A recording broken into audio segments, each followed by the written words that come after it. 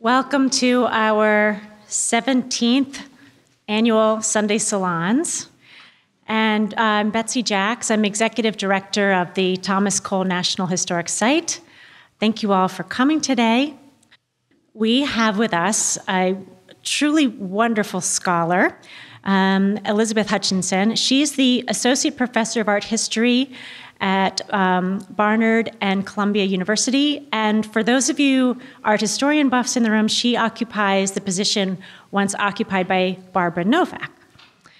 And um, see, that means something in this crowd. she, in addition to her teaching duties, she also is on the executive committee of Barnard's American Studies program and Columbia's Center for the Study of Ethnicity and Race. She earned her BA at Yale and her PhD at Stanford University. And her courses examine American visual culture from the colonial period through the 20th century, so a really broad swath. Um, in addition to that, she's developed specialized native cl- specialized classes on Native American art, the Harlem Renaissance, and the Hudson River School. And um, at lunch just now, she was telling us how she has the freedom at Barnard to do really creative things. And so she led a summer institute where she brought high school teachers on a boat on the Hudson River to teach them about American culture. So and took them out sketching. And uh, so it really just sounds like a program that we'd all like to sign up for. Um, anyway, we're thrilled to have her come today and talk about a topic that we're very eager to learn more about the Native American figures in Thomas Cole's paintings. So please welcome Elizabeth Hutchinson.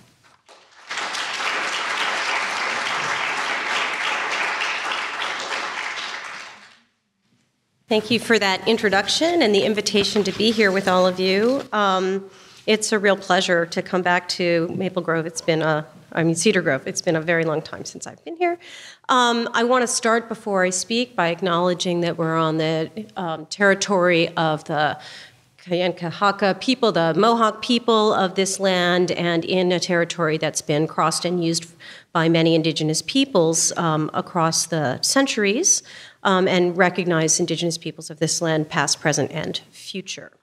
Um, and um, I'm starting with a juxtaposition of a photograph of where we are and a recent piece of Mohawk um, raised beadwork um, showing some of the plants of this land. And I just thought I'd also start for um, uh, what I'm going to be doing today is not only talking about native figures, but also talking about land as native. So I wanted to start um, with just a tiny bit of the Haudenosaunee Thanksgiving address. Haudenosaunee is the name that Iroquois uh, people call themselves. Um, so today we have gathered and we see the cycles of life continue. We have been given the duty to live in balance and harmony with each other and all living things. So now we bring our minds together as one as we give greetings and thanks to each other as people. We are all thankful to our Mother, the Earth, for she gives us all that we need for life. She supports our feet as we walk upon her. She gives us joy that she continues to care for us as she has from the beginning of time. To our mother, we send greetings and thanks. In this Thanksgiving address, which is given daily by many Haudenosaunee people and at the beginning of all important gatherings. Stanzas of this address continue to greet the natural world. In turn, we have stanzas that thank the waters, the fish, and importantly, two stanzas that thank plants. Actually, three. One general, acknowledging the vast fields of plant life, uh, working many wonders and sustaining life of many kinds, and then one on plants as the source of and then finally one on plants as the source of medicine.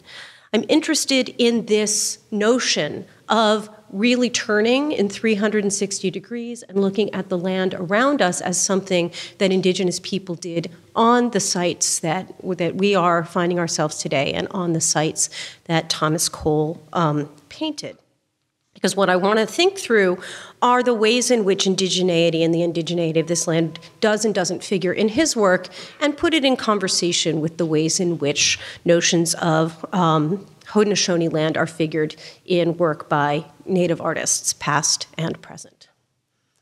If we look at Thomas Cole's paintings, we see actually that in many ways he figures indigenous people not in the not uh, rooted in the land, but rather um, moving through it as transient beings. So I'm juxtaposing here his wonderful painting of Kaaterskill Falls, uh, so close to this location, a site probably a lot of you know, um, where there is this teeny tiny little native figure perched here um, at the edge of the falls, carrying uh, a bow and arrow, and somewhere over here in the woods is the deer that he is pursuing. He is in the mountains, he is on foot, he is alone.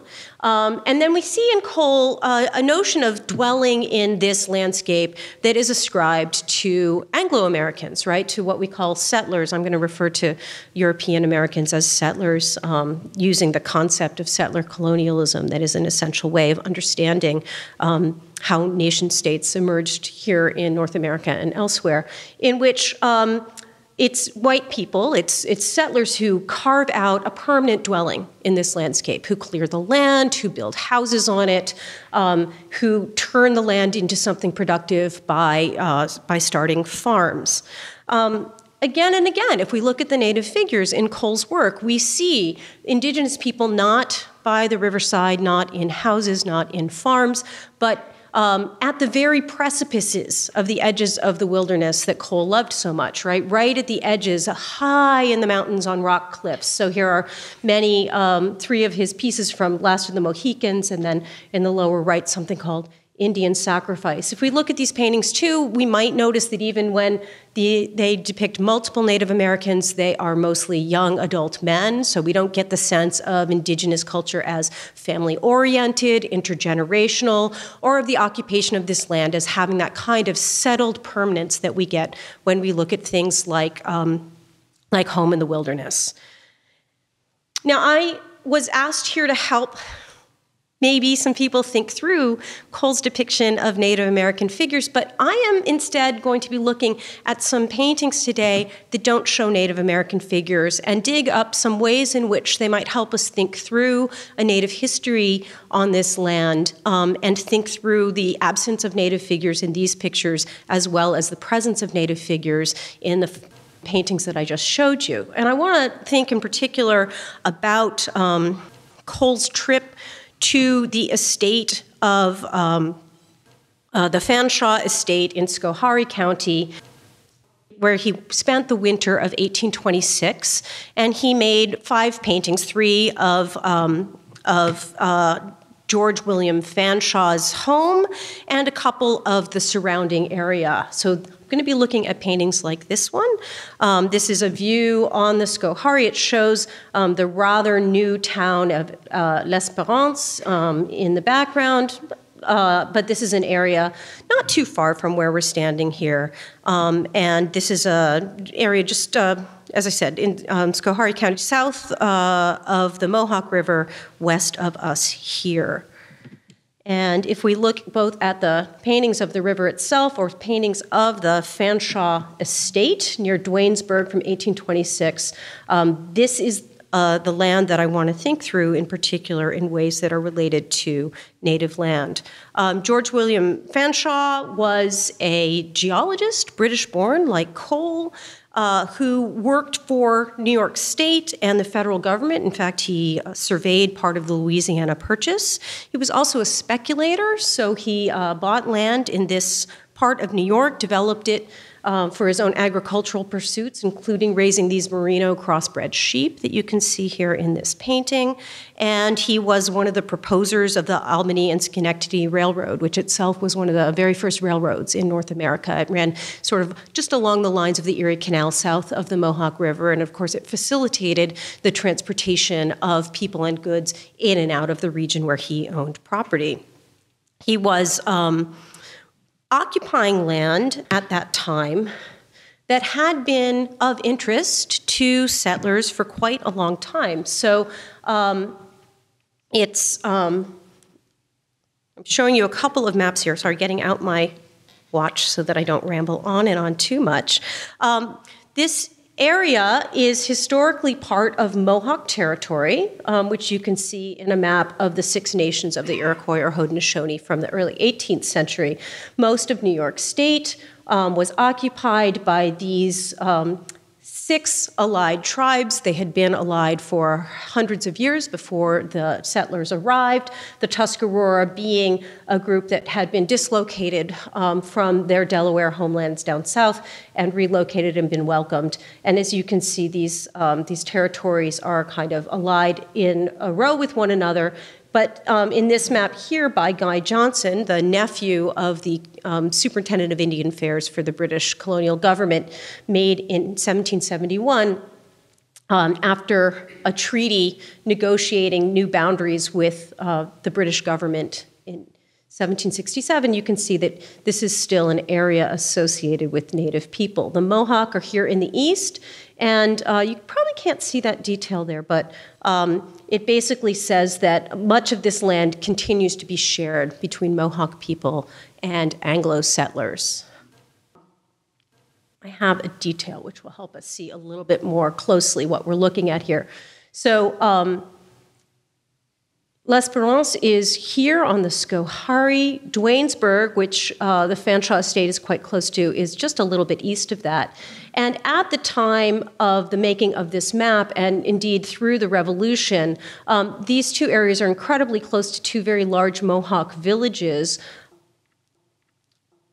Canajoharie here and um, Fort Hunter or Ticonderoga, not Ticonderoga, but Tiononderoge, uh, right here at the confluence of the Mohawk and the Schoharie rivers. There's also an important uh, Mohawk village down here in the southern part of the Susquehanna, um, and a lot of uh, settlement and transportation of Mohawk people through this valley here, which is exactly the valley that Featherstonhaugh and his father in law, uh, James Duane, the eponymous uh, founder of Duanesburg, are seeking to settle in the early 19th century, are developing um, an increasing presence. Now, this area, as I said, had been mutually occupied until the uh, negotiations of this, um, of this 1867 treaty. And it had been really occupied through important diplomatic exchanges and interactions between the indigenous people and the Dutch settlers interactions that were governed in the Haudenosaunee mind by a treaty understood as the Two Row, and I'm showing you a wampum belt here on the bottom called the Two Row Wampum uh, that traces back to 1613. Um, I'll tell you in a second what the other wampum belt is too. But the two-row wampum was basically a negotiation in 1613 where the Dutch and the Haudenosaunee decided that they would establish what was called a covenant chain of friendship, an ongoing, durable, intergenerational relationship in which they each agreed to govern their own affairs and not interfere with the affairs of the other. The two rows that we see here on this wampum belt, which is a visual codification, much like a written document, um, of that negotiation itself, a permanent thing that would last intergenerationally, just like a document and just like the covenant was supposed to last, um, symbolizes two canoes going down the river next to one another, not crossing each other's path, not cutting the other off. So the two rows are. Um, are, are two cultures um, and occupying the land together in a non interfering way. And in fact, there was a two row renewal campaign in 2013 that some of you may have witnessed because uh, there was quite a large um, group of uh, Haudenosaunee people bringing the wampum belt down the Hudson River. And many people believe that the canoes were, uh, were moving through the Hudson. So, uh, and just the, the top row is actually uh, the Haudenosaunee Confederacy wampum belt, and it signifies the agreement between the original five tribes of the Iroquois to work with one another in a powerful alliance, with the Council Fire being uh, right at the center. Um, so the Mohawk are the keepers of the eastern door, and these are arrayed kind of geographically. And this is the Central Council Fire, and it also looks a lot like a tree. And um, it is said to resemble the white pine tree that the peacemaker, the negotiator of this agreement between these five peoples, pointed to as a metaphor for the kind of relationship that they were to have. So he said the white pine tree um, has roots that move in all four directions, and it holds together um, all of the um, space and living beings around it um, and reaches up towards the sky world and down into the earth.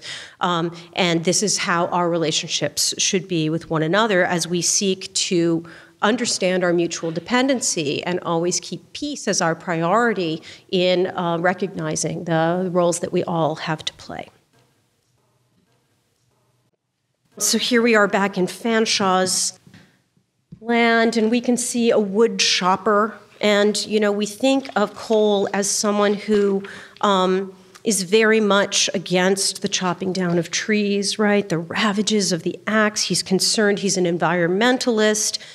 And so we might think about the way in which, when he's painting Featherstonhaugh's estate, he is perhaps with some bittersweetness recognizing the human um, efforts to carve out a place for themselves against the wilderness and, um, and see this as part of the kind of burgeoning of white settlement in this area that um, is necessary, but, but that he believes you know, should be undertaken with a kind of measured pace.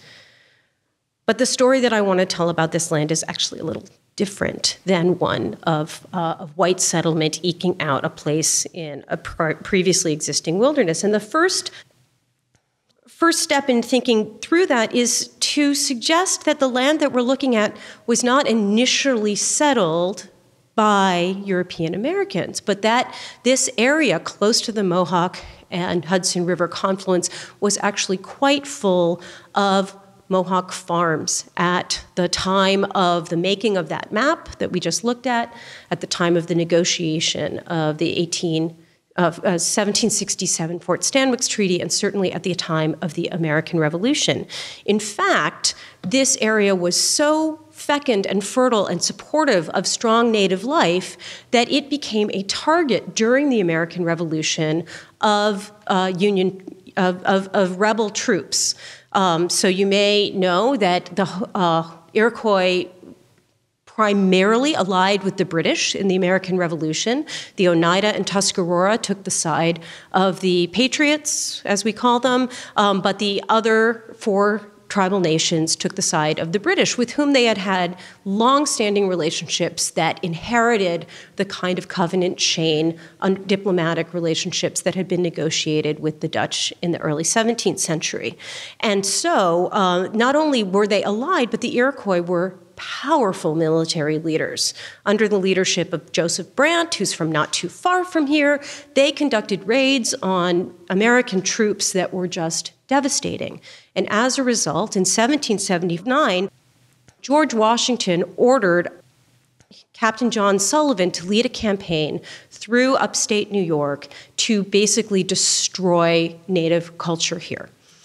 This is a map of the Sullivan campaign. Sullivan is actually coming up from eastern Pennsylvania, up the Susquehanna through what is now Delaware territory, but James Clinton, I don't know if he's a relative of the governor George Clinton who uh, followed the revolution, but James Clinton led troops down through this area, starting in Canajoharie and coming down um, into uh, the southern Susquehanna. And along the way, they burned homes, they plowed under fields, they devastated the soil, uh, tried to poison the livelihood that this landscape could provide for its um, for the people who occupied it. And in so doing, of course, they not only put to flight indigenous families and settlements, um, destroying indigenous villages, but they also laid the groundwork for white settlement to come in in the early 19th century. People like James Duane and William Featherstonhaugh to move into this land and you can see that I'm interested in. Well, I can tell you more about that Treaty of Fort Stanwix in 1867, but I don't want to use all of my time to tell you history. But I do want to say that James Duane was already somebody very interested in promoting something like this kind of campaign. He was in the colonial government um, prior to the revolution, and he was part of the Continental Congress.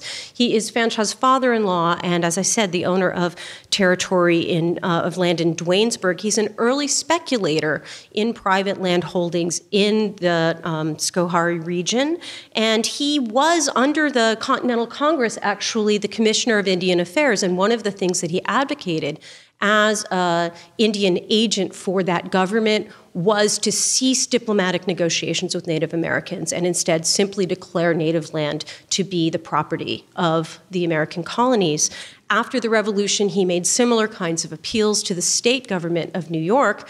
Um, most of the land of upstate New York was rather um, in vague holding after the Revolutionary War because it had been understood to be the sovereign territory of Haudenosaunee peoples, but because of their alliance with the British, they had been forced off the land. And for the decade of 1790, it was unclear whether that land would be claimed by New York by Massachusetts or by the federal government. All of them desperately wanted that land because they had soldiers who had not been paid to fight, and they had promised those soldiers some kind of compensation. And so the ability to pay those soldiers in land was going to be able to pay their salaries. So there was a, a, a real rivalry over this land, and, um, and Duane was one of the advocates that it become part of New York. And in fact, New York um, somewhat illegally claimed some of the land in this region before that idea got firmly settled.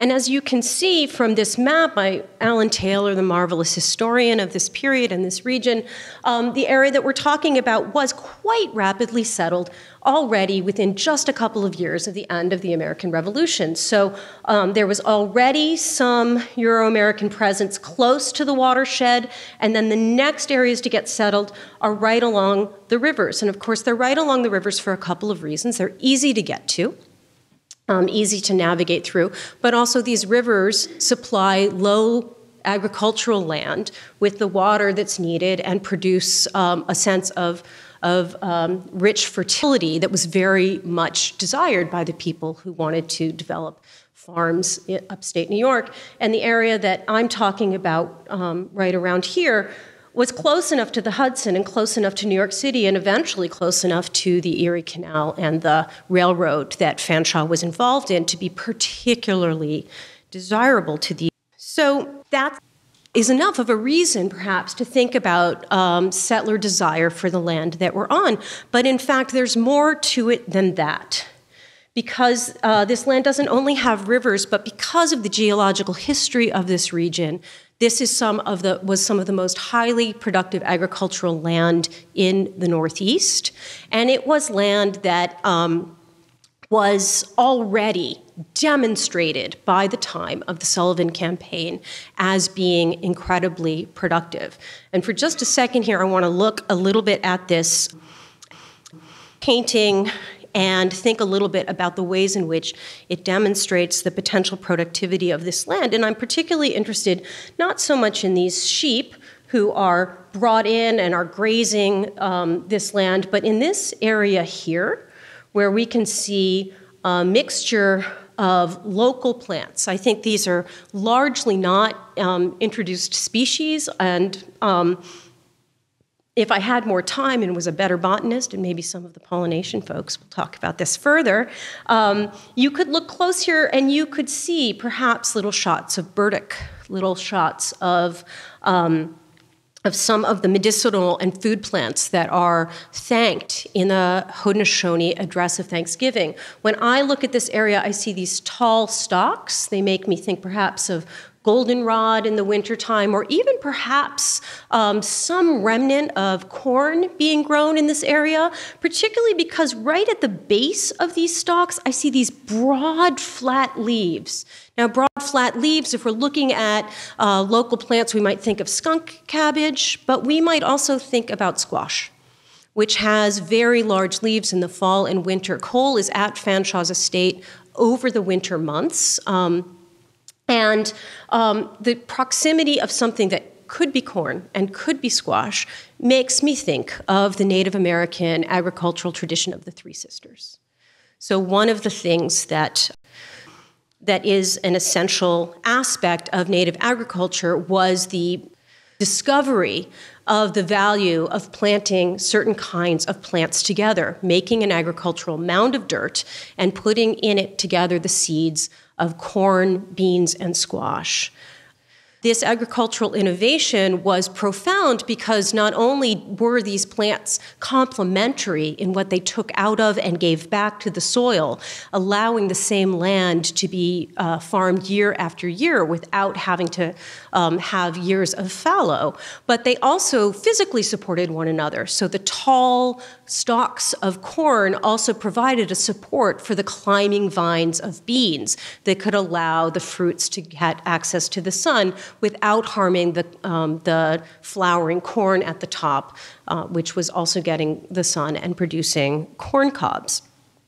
Now, this was, as I said, an agricultural tradition that had been richly developed in this area. And in fact, when we um, hello, when we look at the records from um, the time of the colonial period, um, from all of the military struggles over this land, we find incredible records of the fecundity of this area. Um, the uh, Haudenosaunee bio, um, I mean, uh, ethnobotanist Jane Mount Pleasant, uh, she's a Tuscarora woman who works at Cornell, has studied the primary documents and found um, really interesting quotes. In 1687, the report of the Marquis de Denonville, uh, French governor of New France, who was engaged in a punitive campaign in central Iroquois, wrote about um, all of the rich, full fields of corn and vegetables that he saw and bragged of destroying more than 1.2 million bushels of corn on this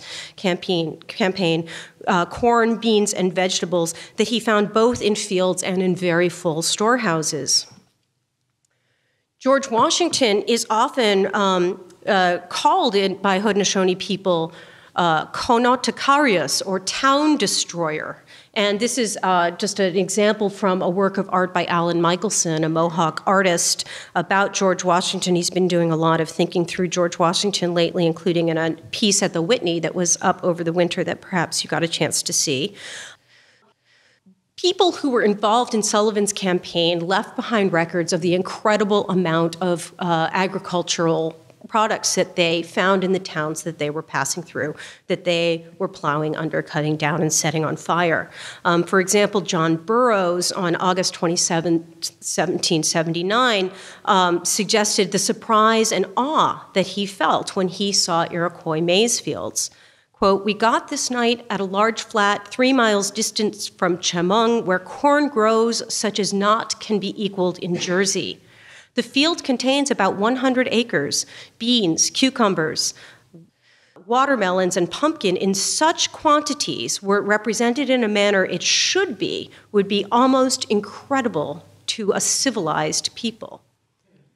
Similarly, Lieutenant Samuel Shute reported the army was employed in destroying corn, which was not less than 200 acres intermixed with beans, and the best I ever saw. Corn is an absolutely essential component of native occupation of this land and associated with the origin story of the Haudenosaunee people, who tell a story of Sky Woman falling from a world above this one into this world, gripping the seeds for these plants in her hand and giving them to the people of this area of Turtle Island, of the, of, of the um, earthly dwelling as a gift for them to be able to sustain them, connecting her community's persistence across generations from a period of Sky Mother's time. We have to be able to work together to continue growing corn. It is something other people have neither the knowledge of or the responsibility for. As I reach 40, she was 40 when she wrote this, she's a little older now, I have to be able to know how to grow this. It is as simple as that understanding when to plant, the moon, the seasons, knowing how to feel it, look at it, touch it, working side by side with the people who know. We want to keep the seeds going because they will feed our people for the next seven generations. The corn literally feeds us. At the same time, we can center ourselves around it to feed us on the spiritual and cultural level. Mount Pleasant has produced this map which shows the most agriculturally productive soils in present day New York State. And I think it's pretty easy to see how the Sullivan campaign um, expropriated this incredibly productive territory from Native people. The collaborators with the British were relocated from New York across the border into Canada, leaving their lands available for um, settler development. And I think when we keep this idea in mind, um, it allows us to think through Cole's notion of a home in the wilderness. So this is another Alan Michelson piece. He's actually made a, um, a little log cabin that perfectly um, uh, reproduces the scale and the um, shape and sizes of the uh, cabin in Cole's home in the wilderness, but he has used um, the map from the Fort Stanwix Treaty um, to wrap the, the pieces that make this log cabin.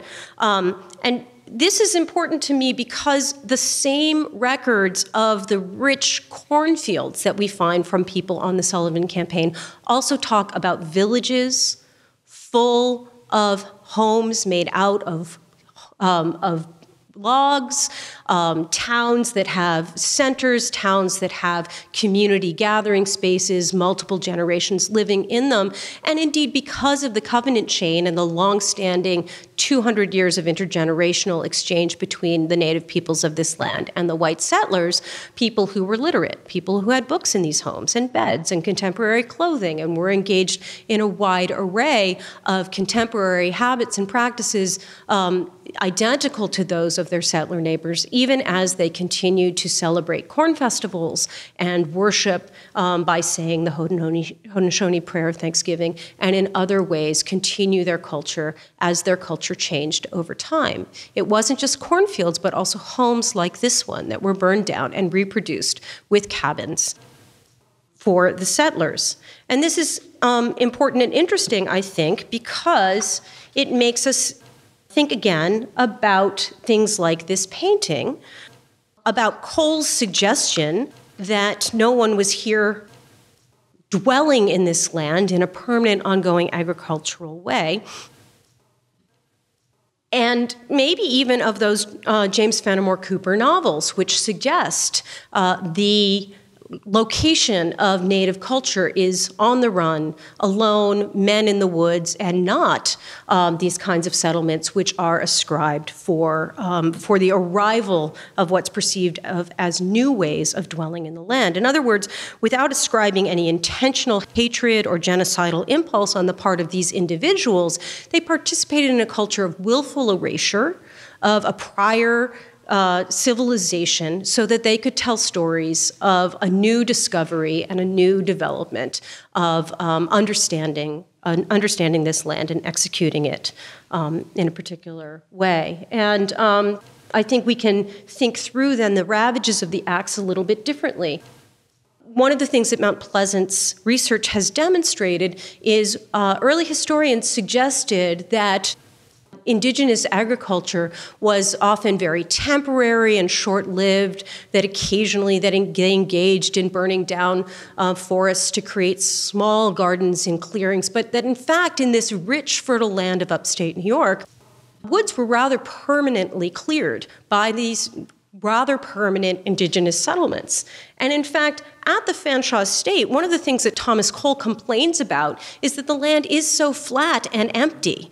My dear colleague William Coleman published an article, a, a curator at Olana, published an article recently where he looked at Cole's letters and, um, and his records of staying there, and Cole was saying, What an unspectacular landscape. I'm so bored painting this flat, uh, alluvial plain with these trees with big holes between them. And, and, and Coleman even went to the woods and he said, Yeah, you know, the, the trees continue to be kind of sparse sparse. This, this land continues to be kind of empty.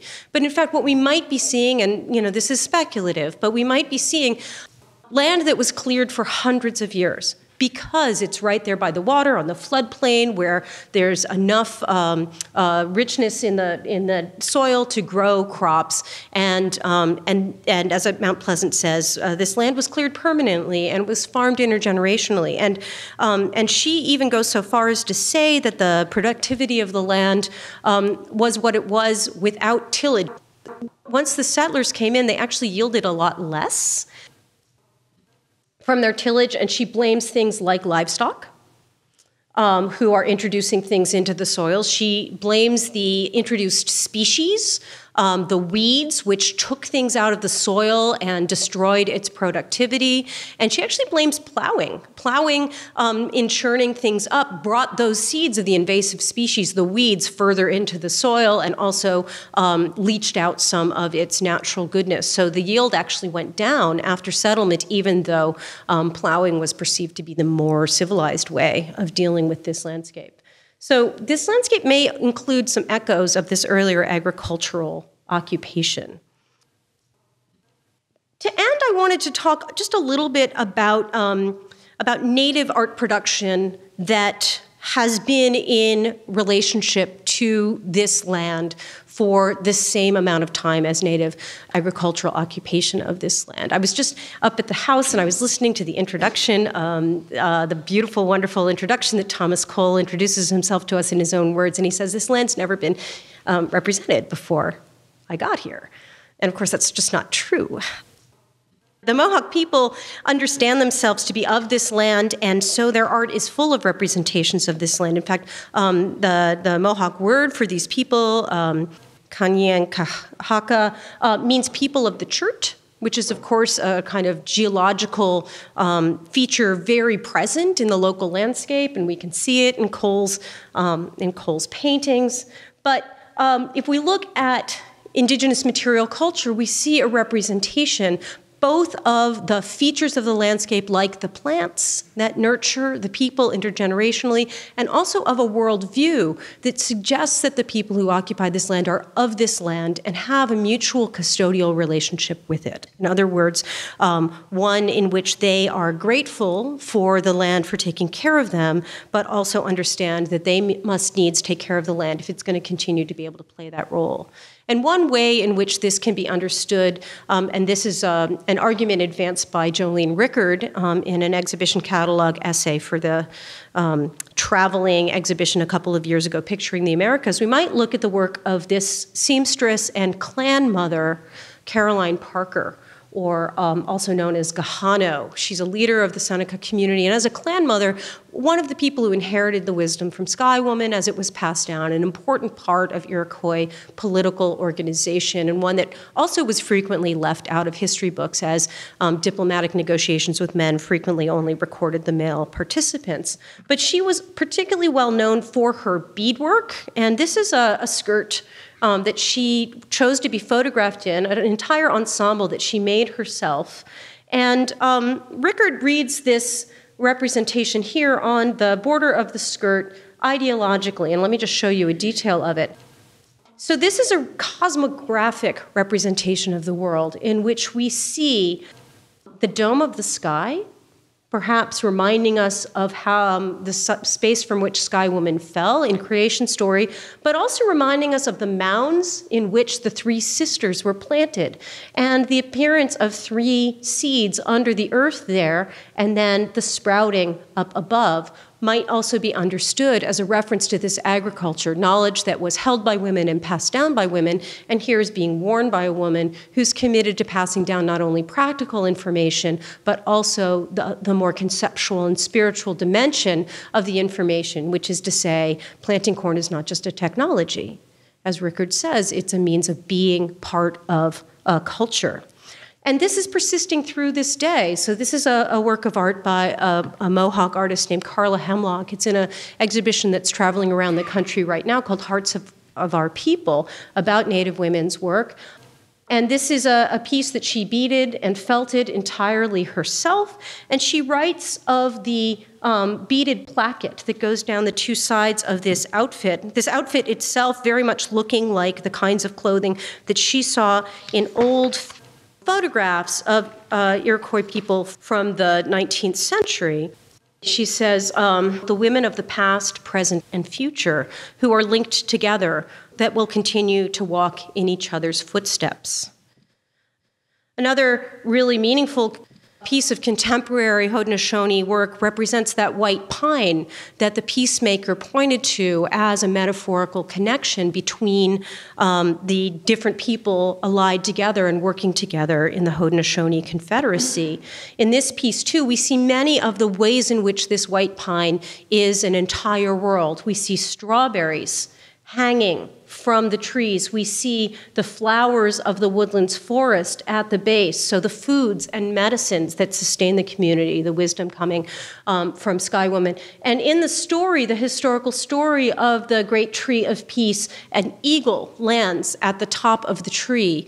Eagles are important in Haudenosaunee creation story not only because they are powerful predators um, and part of the landscape, but also because they mediate the terrestrial world and the sky world. So important figures. By way of ending, I want to I want to look at a really recent piece by Jolene here, and I'm putting it in conversation um, with Asher Durand's quite famous Kindred Spirits.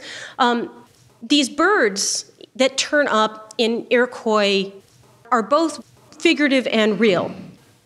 Jolene reminds us in this piece, which is an homage to the extinction of the passenger pigeon, once the most abundant bird in North America, um, and uh, a bird who literally littered the forests of the Northeast and was a profound source of food for indigenous people and subsequently in the 19th century for settlers. And in fact, the reason it went extinct was it was um, hunted uh, to extinction because of, uh, of people hunting it primarily for food, but it just blanketed this region, um, reminding us that these woods that we love to walk through were once just cacophonous with birdsong um, and, and full of the motion that these birds uh, provided. And she has created. Um, uh, this, this juxtaposition between uh, Haudenosaunee beadwork birds associated with, um, with creation story and then um, specimens from natural history museums of, um, of birds. And the reason I brought in um, Asher Durand is, there's just this one little bird here, right? there were probably a lot more, right? But Durand couldn't picture the birds because his his mode of representing the woods involved sitting still and copying the things that sat still for him, um, and creating an idea of a representation of the landscape that fit his worldview. But just because Indigenous people didn't make three dimensional illusionistic representations of the land doesn't mean that they weren't representing this land and their intergenerational transhistorical representation, a relationship with it. So that's where I'm going to end. But I do note that in this little picture of this garden, on this land where we had so many introduced species, my sense of uh, Cole's wife is she sure loved her a French rose or a Chinese uh, hothouse flower.